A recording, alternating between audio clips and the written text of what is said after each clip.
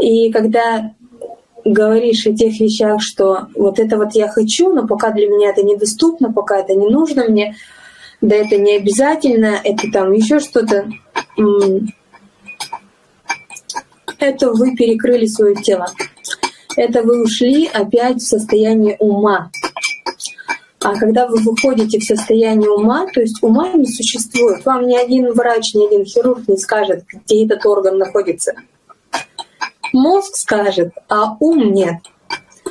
То есть у ума не существует. Это такая мифическое такое состояние. И вот все, что он воспроизводит, это тоже всего лишь миф.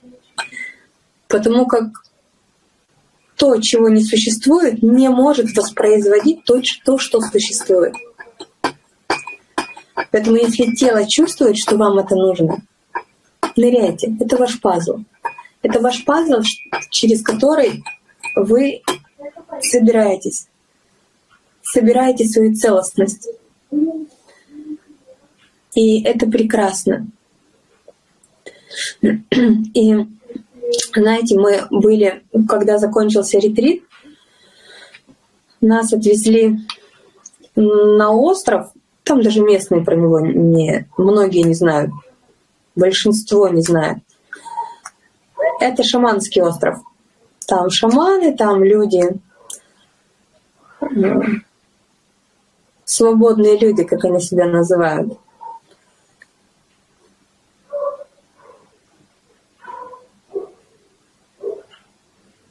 И там это то пространство, где люди учатся жить через тело. Но не у всех это получается. Кто-то из одних ограничений, что это нельзя, перепрыгивает в другие ограничения, что мне можно все.